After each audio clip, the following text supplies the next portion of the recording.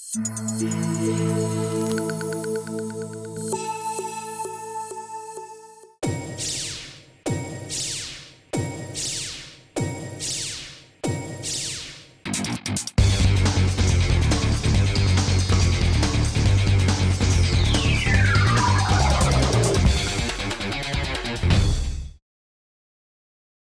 Amigos do esporte, muito boa noite. Está no ar Esporte na TV, o nosso encontro. A partir de agora, vamos falar em esporte aqui na, no Esporte na TV, na Vale TV. Hoje, quinta-feira, um dia muito ruim para Novo Hamburgo, temporal de pedras, granizo, né? E realmente Novo Hamburgo declarou calamidade pública, né?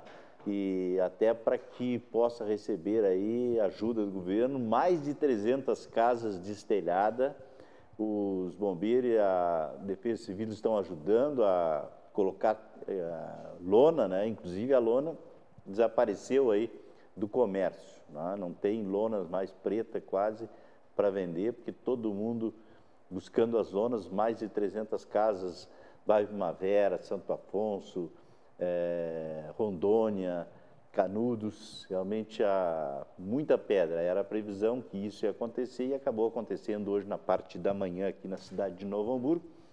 E o tempo continua, né? O ruim é, dessas casas que foram destelhadas, que a chuva continua e aí as pessoas têm que é, se proteger e colocar uma lona até para proteger os móveis e os restos dos utensílios da casa. Lamentável, né? Isso que aconteceu aqui em Novo Hamburgo nessa manhã. Mas não podemos parar. E aí vamos continuar. Lembrando que o São Paulo ontem eh, perdeu o jogo por 2 a 1 para o Nacional de Medellín e acabou ficando fora da competição. Então, não sei se para os times brasileiros se é ruim ou bom, talvez agora o, o São Paulo vai só se dedicar ao Campeonato Brasileiro e pode aí subir. Se tivesse ainda nas duas competições, os outros é, times brasileiros iam agradecer, porque ao menos ele ia se preocupar um pouco com o campeonato pela Copa Libertadores. Mas vamos ver o que vai acontecer agora com o São Paulo, que já está perdendo alguns jogadores aí na janela. Um deles é o Ganso, que eu acho que no São Paulo nunca foi aquele jogador que nós conhecemos do, do Santos, né? nunca disse por que veio. Então, acabou aí eh, não vingando lá no São Paulo, por isso também está, parece de malas prontas e vai seguir o rumo dele. O Internacional apresentou a semana o Falcão, que já está treinando, já está pedindo apoio do torcedor, já vai estar no banco no domingo, quando o Internacional estiver recebendo aqui o Palmeiras, o atual líder do Campeonato Brasileiro. O Grêmio vai viajar e enfrenta o esporte. O esporte que é o ex-time do Falcão, né? Então, essas coincidências do futebol.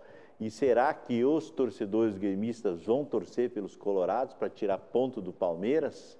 E será que vai adiantar o Internacional tirar ponto do Palmeiras? O Grêmio vai conseguir lá ah, em Recife eh, tirar pontos do esporte e se manter ali no grupo de elite, né, entre os quatro melhores do Brasil. Mas tudo isso é assunto que a gente vai desenvolver durante o programa, porque hoje nós temos um convidado especial aqui, porque não é todo dia que um clube faz 82 anos. Né? Então, olha quem está comigo aqui o diretor, é diretor, né, não é o presidente do... Vice-presidente. Ah, o vice-presidente. Diz que o vice está mandando mais. Olha, ô presidente, cuida aí, hein? O pessoal está... Os vice estão derrubando Os vice estão derrubando. Ó, na, na, na, presidência da República, o, o, vice já assumiu no né, lugar da presidente, na Câmara dos Deputados também. Olha, os vice realmente, mas eu sei que lá é uma equipe, estou brincando, né? Porque a gente conhece muito bem o Tuca há muito tempo, e o Tuca não é o presidente porque também não quis, né? E, mas é um trabalho, um colegiado lá e a gente sabe do trabalho deles. Com uma satisfação recebê-lo mais uma vez no nosso programa. Você parece que só, só sai de casa em sexta-feira, né? Só vim em sexta-feira aqui. Aí eu disse o Daniel, Daniel, disse que tu vai estar na, na, na, quinta aí, aí ele vem e aí eu vou estar aqui. Não, então é uma brincadeira. Boa noite, Valdir, boa noite a todos. Satisfação voltar ao esporte na TV. E realmente estamos lá no americano, né? O Carlão, nosso presidente, não gosta muito de sair à noite, né, cara? Por isso ele não vem no programa na TV. Mas estamos aí, vamos falar sobre esporte e sobre os 82 anos do americano aí, que é, acho que é uma data bem significante, né, cara? Ah, os 82 anos foi comemorado essa semana, né? Na, é, a data mesmo foi terça-feira, dia 12 de julho. 12 de julho. De 34 foi de 34. o. Fundação do Americano. Né? Fundação no Americano. Então, são 82 anos. O americano sempre foi um time amador, né? Sim, Nunca sempre foi um clube amador. É, amador já... que hoje não existe mais. Que né? hoje não existe mais e era o amador que era muito mais forte que o profissional hoje, inclusive muito mais caro, né? Tinha times que reforçava mais que time de segunda e terceira divisão aí. É, eu acho e... que isso foi um dos motivos que levou à falência do futebol amador no nosso estado. E olha, e nós tínhamos forte, nós tínhamos uh, lá, como é que é, o, é o a série verde, amarela e branca uma vez, e tinha. E depois aqui na nossa região, aqui por muito tempo tivemos times, é, eu me lembro quando eu fazia cobertura, pô, na, aqui na nossa região, tivemos o Lomba Grande, aqui no Novo nós tivemos o, o Olaria Os foi três campeão de 60. No, do, de Novo Hamburgo foi americano, São José e Loma Grandense, né? Não, mas o, o, o, Olaria, já, o Olaria, jogou... Olaria foi campeão antes disso, o Olaria foi campeão foi em 60, atrás, então, em 60, né? Ah, tinha um é, aninho, cara. É, em 60 ele foi campeão. E uh, tivemos, tu disse o 11, tivemos o São José. Esse eu me lembro, né? Tivemos o americano, o Lomba Grandense, né? Esses times disputaram o, estadual. Aqui em Novo Hamburgo era considerada a quarta categoria, não sei se tu te lembra, quando disputava Madureira, Adams, é, então era, era a quarta categoria, chamava de quarta categoria, né? Porque era a federação também, e hoje, infelizmente, depois tivemos um campeonato forte com a Associação Sapiranga, 15 de novembro, americano, é, o, o uh, Ivoti, uh, Vila Rosa, time, o né, 7 de setembro, União, União, né? E tinha lá em, em Ubirabá tinha os dois times. Nova Petrópolis. Tinha o Madrid de Caxias, tinha o Juventus Bangu de Caxias. De, o Bangu, tinha aqui o. Tinha o Nacional de São Leopoldo. O Juventus. O Sapucaense de, na época também era amador. E o Lançul. Olha, tivemos ah, realmente um, muito forte. É, eu né? peguei a minha época de amador, nós tinha mais de 100 clubes. Você começou no amador, começou primeiro no, no, no americano e foi para o Novo Hamburgo ou, ou, primeiro no Novo Hamburgo? Não, Você eu, jogou na categoria de base do Novo Hamburgo. Eu né? comecei no americano, comecei na escolinha do americano, depois no juvenil do americano em 78, né? Hum. Aí eu, em 79 eu fui para o Novo Hamburgo, fiquei até 82. Aí parei com o profissional, voltei para o amador de novo no americano, em 83. Joguei um quadrangular final com o americano. E aí depois saí, joguei no, no Cairu. Quando o americano não participava, foi quando eu saí. No, fora disso, só joguei no Novo Hamburgo e no americano. No americano. É, vamos lembrar, assim, é, nomes que passaram, assim, tu, tu, tu te lembra, tu que está lá. Eu, lógico, vi alguns jogadores importantes, né?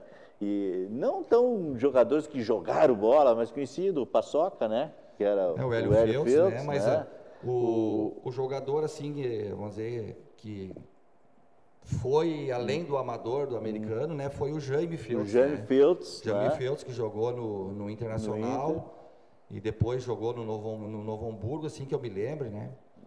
Teve jogador, teve o Pedrão, zagueiro, que foi para Chapecoense, daí do americano, o Jair, goleiro, que veio do 15, veio para o americano também, foi para Chapecoense na época, né? E o Bebeto também jogou o, profissional. O ja, né, Jair, Jair, Cardoso. Eu, é, eu Cardoso, conhecia é, como Jair. É, né? o Jair, sim, o Jair Cardoso. Conhecia como Jair. Uhum. E. Aí tinha, tinha o Novaes, né? O Novaes. O Lori, o Ratão. Tinha um meio campista. Um motor muito cara, bom, meio de campo. Esse já é antes de mim aí, né? Bem antes de mim. Eu já peguei esse pessoal jogando no Márcio, o, né? O Joca, chegou a jogar com o, o Joca? Joca, ponta esquerda, Joca, né? Ponta filho esquerda, do Gato filho Preto. do Gato Preto, trovador. É, isso aí, é, estudava comigo em São Leopoldo e... Tinha o Jorginho Louco, muito. que eles chamavam, Ah. Jorginho Louco, que era o Jorginho e o, e o Joca, que vinha de São Leopoldo. De São Leopoldo, né? Jardim de São Leopoldo. É, é. Tinha o Sérgio Requia também. Ah, o Sérgio Rick que eu estava Muito jogando. Esse é o jogador, cabeça, né, jogador, é, era cabeça de área, vamos dizer assim, aquele tempo Não, era o ele centro ele médio. era meia. É, Cabeça meia. de área era o Flavião, né, cara? Ah, tinha o Flavião. Flavião que foi um... É, o Flavião eu conheci uma- já. uma fera, o Flavião assim, já conheci amador, o né? Flavião já na, na- de zagueiro, né? É, o Flavião, onde- não foi profissional porque Ah, naquela é, época Meu Deus do céu. ele o- preferiu o- trabalhar hoje, hoje, jogar, hoje né? seria rico, né? Seria, com E- certeza. Mas e aonde ele passou, o Flavião, bah, ele jogava, eu vi ele jogar no Estância, eu vi ele jogar no Flor da Rosa. jogou no 15 também, No cara. 15. Na é, Associação Sapiranga depois ele jogou, jogou mas ele jogou mais mesmo. Ele só saiu do americano também quando o americano não jogava. É, Do jogou. contrário, Acho que ele eu sempre não jogou sei no se ele não chegou a jogar no São José também. Será que não jogou, Jogou no São José? Jogou no São Quando eu José joguei também. no Cairu, ele jogou no São José. É, não, mas- o Flávio, eh, quando eu digo, o, Tuca, tu foi profissional, e eu acompanhei a Vaz, acompanhei o Amador, acompanhei, de vez em quando eu vou fazer alguns comentários para a Rádio Web, galera, de Porto Alegre, jogos do Grêmio, do Internacional, e aí eu, eu olho lá jogadores que jogam no Grêmio Internacional hoje, que não sabem dominar uma bola e que não sabe driblar. Antes de primeiro, o cara que soubesse jogar, que jogava a bola, ele tinha que saber driblar. Hoje não precisa mais, né?